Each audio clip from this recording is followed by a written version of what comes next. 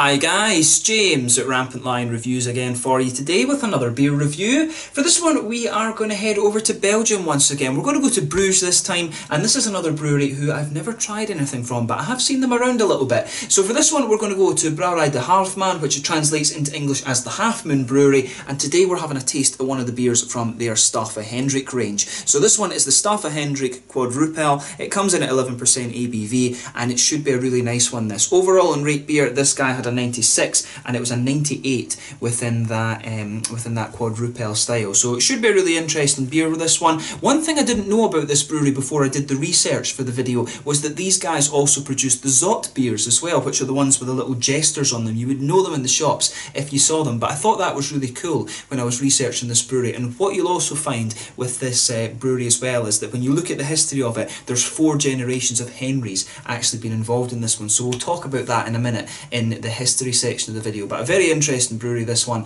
And as always, I hope you guys enjoy my take on this particular beer. So anyway, as is usual with my reviews then, I'll tell you a little bit about the brewery. If you want to get straight to the tasting, of course, just fast forward. All the usual links are in the description below. That's the brewery website, link to my other reviews that I've done from Brouwerij de Halve Maan before. This is the very first time I'm trying one of their beers though, so there will be more in the near future. There's all the usual social media. If you want to see more beer reviews, do please consider subscribing to the channel. The whole channel, of course, has a geography-based tagging system, so you can go into the homepage and search for beer based on country, city, state, county, prefecture, whatever it is you're interested in. Do check out the playlist of beers from different countries. There is one there for all the Belgian beers that I've reviewed for you. That's constantly being added to. And as always, please do get in touch and let me know some of the other beers and breweries that you guys would like to see me review. It's always great to hear from you guys that are watching the videos, and the support that you show the channel is hugely appreciated. So anyway, to tell you a little bit about Brouwerij de Halve Maan then. So as I mentioned to you earlier, Brouwerij de Halve Maan translates into English as the Half Moon Brewery, and this is a family owned company located in Bruges in Belgium.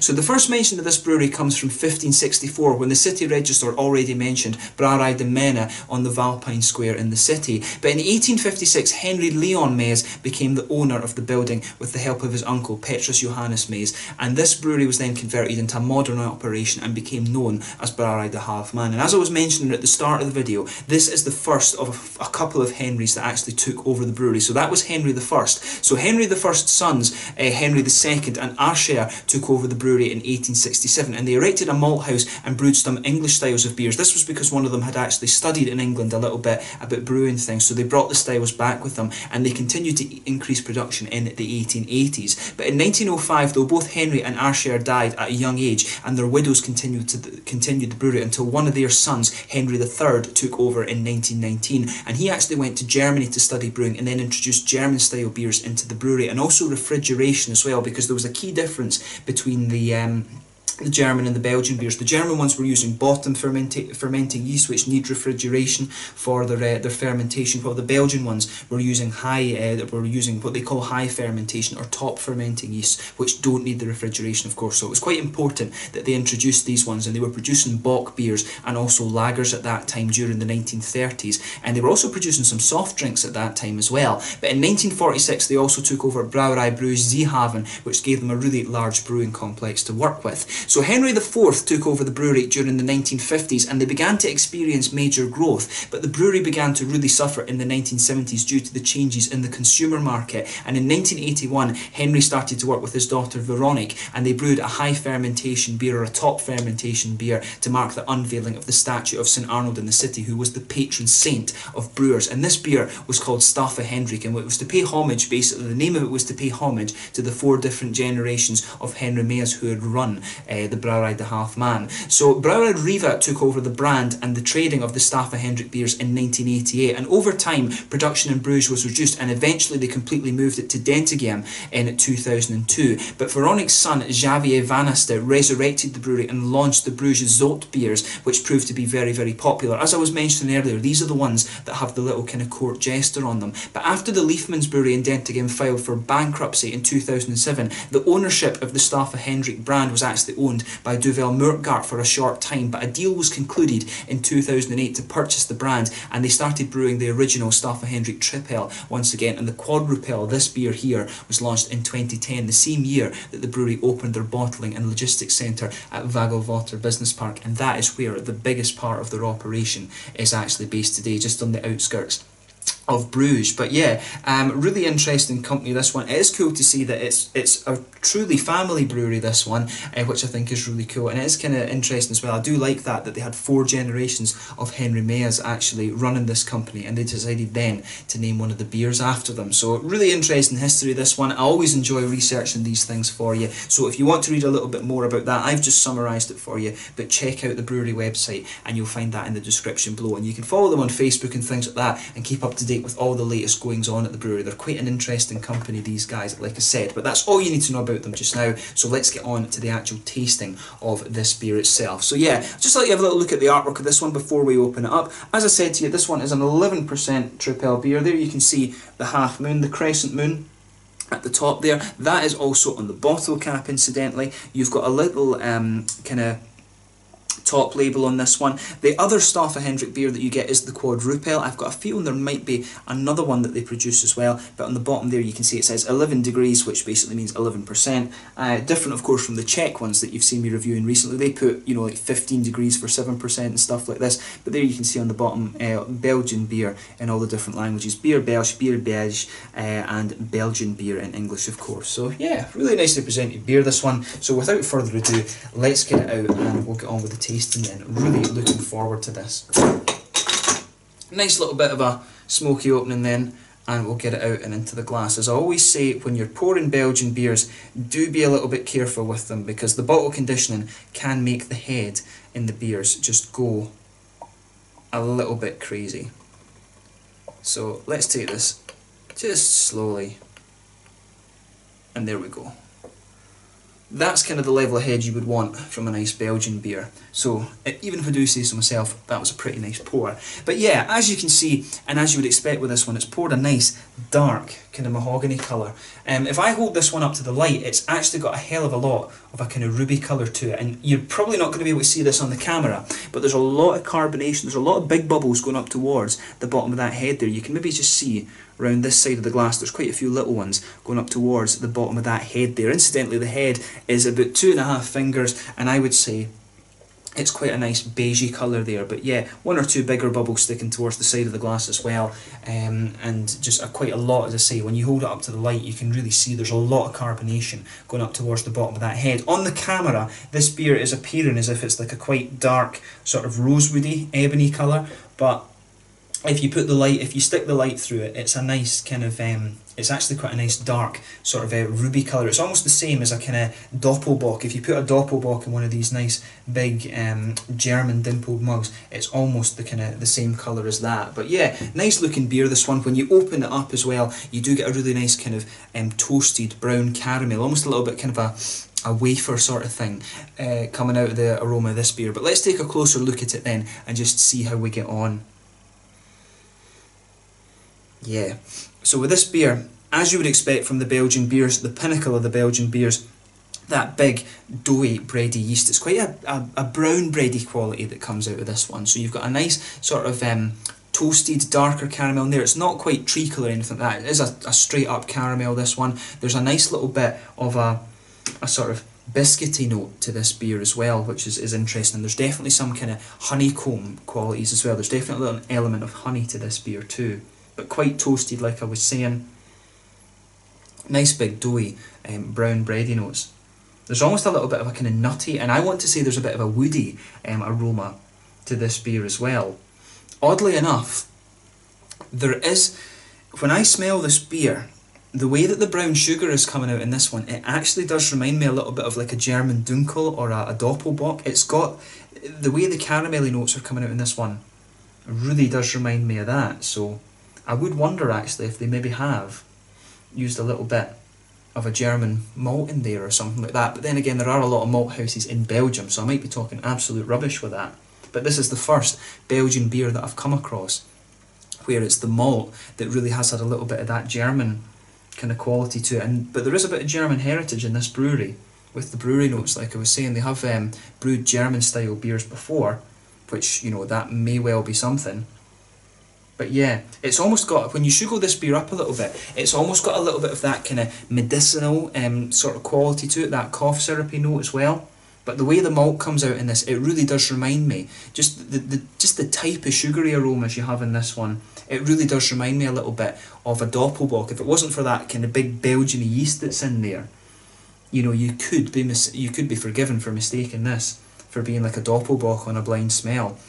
But yeah, with this one as well, there's a little touch of a kind of earthy hop. I would think there is a little bit of a note from the earthy hops and you can pick up a little bit of a red fruity quality from this one. I want to say it's a little bit figgy. It's not quite um, kind of candied or uh, or sharp enough to be like plums or raisins or something like that. For me, it's quite a figgy note, and there is almost just a little bit of a medicinal quality. But overall, the aroma for me really leans towards those brown sugars and the kind of brown bready notes that I was talking about earlier. But yeah, it does smell like a, a really quite nice beer, this one. So as I always say, Take a little bit of time and enjoy the aroma of the beer before you get stuck into it, but we're going to try this one. So this one is the Straffe Hendrik Quadrupel from Brouwerij de Halve Maan in Bruges over in Belgium. Let's have a taste of this beer. Slange Skull Prost Santé.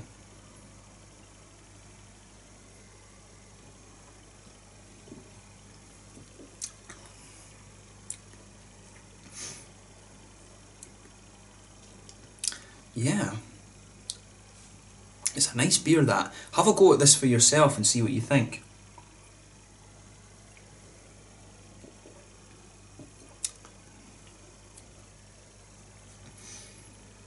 Yeah. Mm. Right, so this one, the, the, the, again, I, I was as I was saying, I was picking up in the aroma, the brown sugars. The way the brown sugars come out in this beer are quite um, are really quite different actually compared to some of the other tripels that I've had before. This one is a little bit more toasted and roasted, and again, flavours that come out of this. That, that for me, just in terms of the flavour of this beer, there is something just a little bit German about it. A lot of Belgian beer enthusiasts might not be happy about me saying that right enough, but the way that the malty quality comes out in this one, it really does remind me a little bit of Doppelbocks and um, and what do you call it, and uh, Dunkels and stuff like that.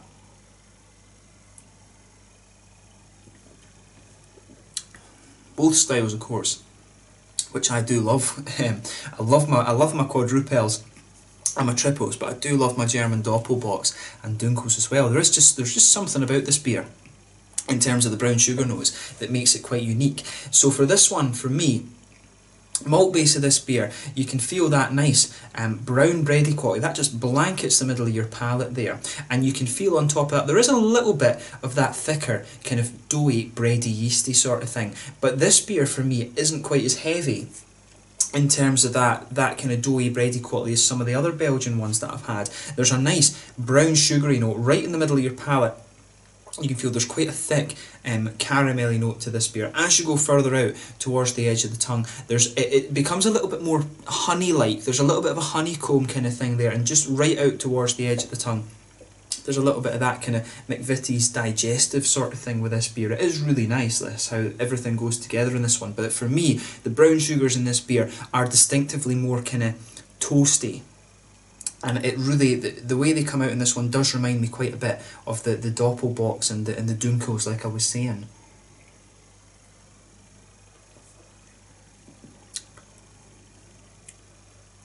Yeah, I just I love how everything's going together in this one. This one is a really um really quite nice beer, and I mean the Belgians are you know the Belgium's one of these countries. They've got that terrific brewing heritage over there and I always like it how you can go around these quite famous, well known breweries, and with each of these different beers, you can pick out just those little distinctive things. With this one, as you kind of move further forward um, on the front of the tongue, I think there's an element of a a sort of woody flavour to this one. It's almost a little bit kind of oaky. On top of that, there's a nice um, little bit of a nutty um, quality to the beer as well, right in the centre. Um, behind the front, behind where you would normally find the fruity flavours, there is just a little bit of a nutty flavour sitting on top of that and a kind of woody base to the beer, which is, is really, really nice.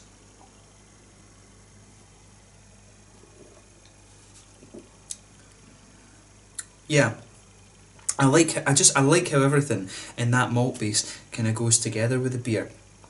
It's really, really nice. On the hoppy side of things, back corners of the palate, you've got a nice, smooth earthiness to this beer. There is a little bit of a herbal quality in there. And um, like I was saying, in the aroma, you can pick up this almost slightly medicinal kind of uh, thing about this beer. And as you go across to the palate, to the sides of your palate to get the hoppy flavours, a little bit of that kind of um, comes out as well. But as you come further forward along the sides of the tongue, that earth, the earthiness is there at the back, then the herbal quality just kind of spreads forward a little bit. There's a wee touch of floral um, aromatic, uh, aromaticity on the front corners of your palate, then round the very front curve of the tongue, it's just a little bit lighter and uh, grassy again. There is a, a slight touch of a, a herbal quality in there too, though.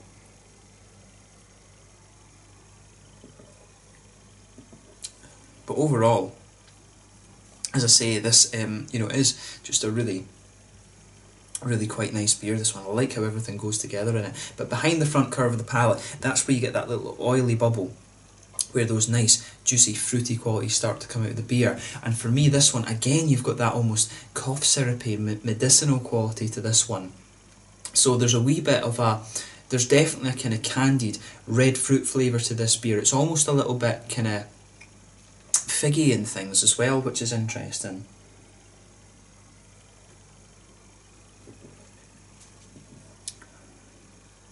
Yeah, definitely um, that medicinal quality to this beer is really interesting. It's got a little bit of a sultana element to it as well. There's almost a little bit of like a, I don't know, a dried peach or something like that to this beer, or a dried apricot. There is definitely a dried kind of fruity element to this beer and some red fruit. Definitely figs in there, definitely sultanas I would say as well, but there is a sort of dried apricot note to that beer. And that really um, kind of blends in quite well with the herbal qualities of the beer that I was talking about as well. But overall like I say in terms of flavour it's a really nice quadruple this one it's a bit darker than some of the other ones that I've had. It's a bit less heavy in terms of the kind of breadiness of the beer as well but it definitely covers the alcohol well I would say. I mean 11% the way the brown sugars uh, kind of come out in this beer is really what stands out to me. And in terms of the aftertaste, it's some of that medicinal quality that's sitting there, a little bit of the herbal flavour too, and the kind of nice biscuity, kind of almost wafery brown sugar uh, flavours coming out of this beer. But overall, really, really nicely done, and I'm glad that um, I was able to have a taste of this beer. In terms of the mouthfeel, then, definitely, I would say, I think, is it full bodied?